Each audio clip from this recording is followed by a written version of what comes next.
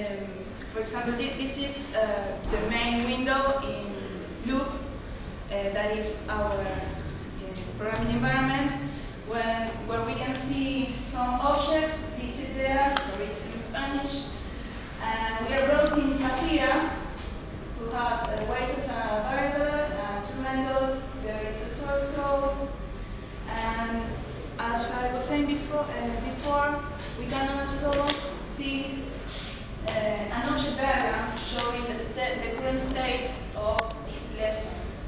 So it's clear here um, what is an object and what is a reference or a variable. Uh, we can see that an object is nameless, so the student don't confuses the object and the variable as the object has a name. Uh, a lot of variables could point at the same object. And uh, well, the, the object diagrams also to identify objects that are not pointed by anybody, uh, and they are candidates for garbage collection. So uh, if you can see there where it says papelera, it's like garbage bin. When an object, when uh, when nobody points an object, it's uh, it's put in the garbage bin. So the student can go and say, okay, garbage collect now. It's a way that to, to help understanding garbage, collection and not wanting to dispose or delete objects like they would do in Pascal. Um, well, uh, the thing is, uh, with this tool, they program objects directly and they put the behavior directly in the object, but sometime at the schedule we have to really teach class-based oriented programming. So, how do we do that? Okay. It's all arranged. And, and okay, we start with a prototype-based system. Um, our objective is to, in the second half of the course, uh, use Smalltalk. Um, this is only an example with two objects. One, uh, can use this this object and this object, and each of one have one variable. Um, oh, wait a minute. Eh, we have this option and this other option. Can't see that at all. Don't point to the screen. Well, and there are two really big balls in the upper space. That's the object.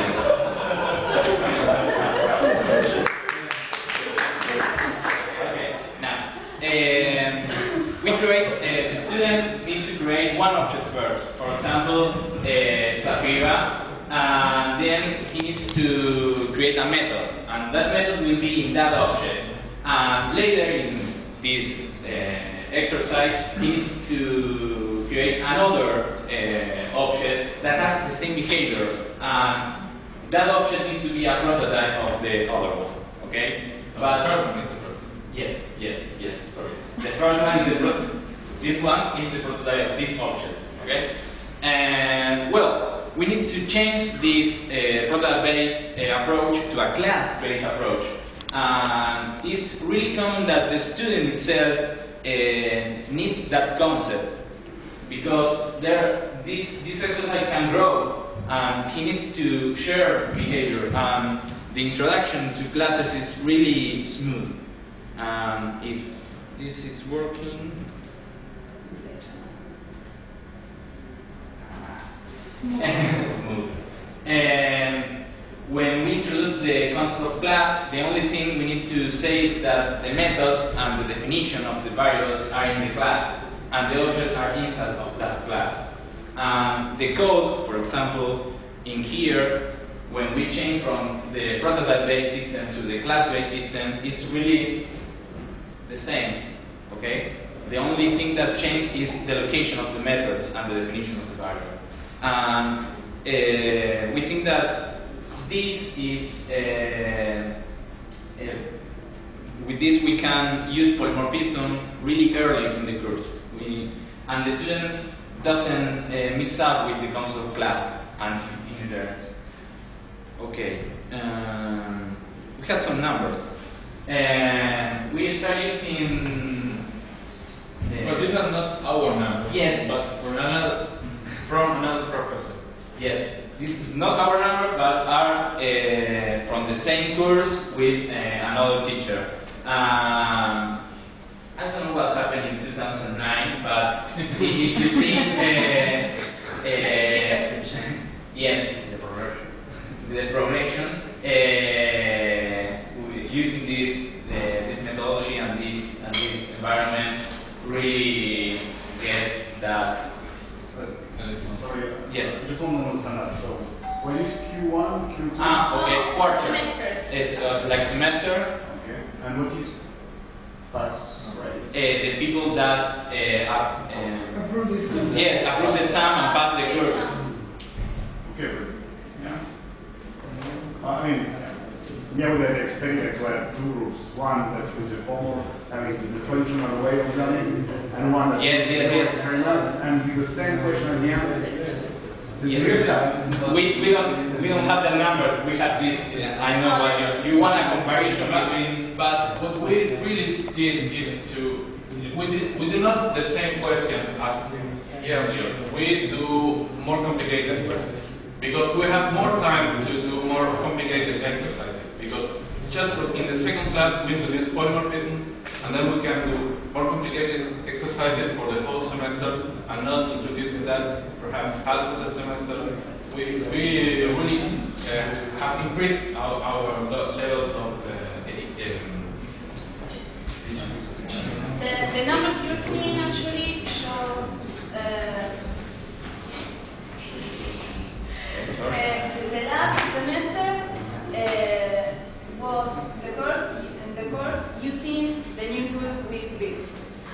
Before that, we used the same methodology, but we didn't have the tool to use uh, collections and options and polymorphism right away.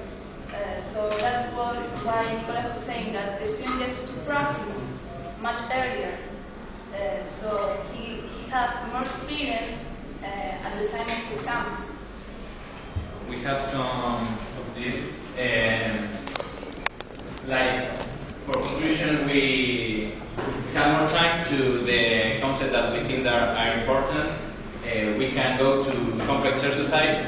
Uh, and one of the focus of this is we think uh, that uh, for teaching stuff from, from from the concrete to the abstract is the is the right way to to teach observing the world. Well, that's all I think. Um, if you want to Ah, yes, please. If you want to give it a try, those are the links. Um, in the first link, you, you can find how to install the software, and, and there's uh, also documentation and what the other things are. for- The name object browser is, is a legacy thing. Okay, thank you.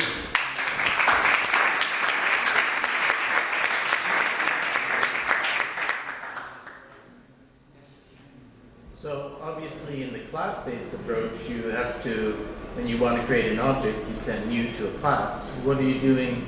You didn't see an example. What, what happens in the prototype-based approach? And I I will not go in a demo mode, but uh, you know, uh, you see that there is one of the three uh, objects that is uh, selected.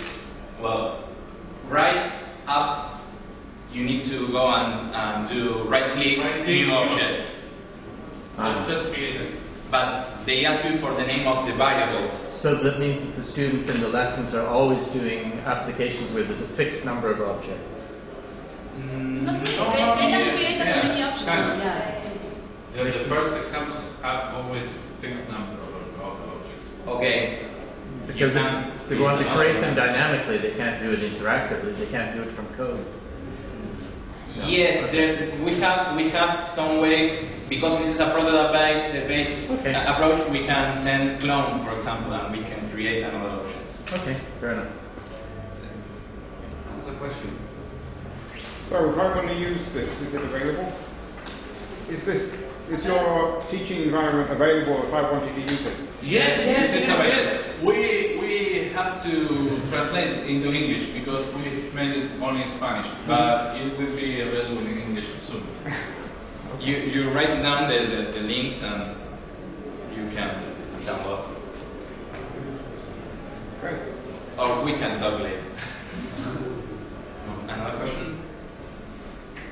Okay, so we'll break.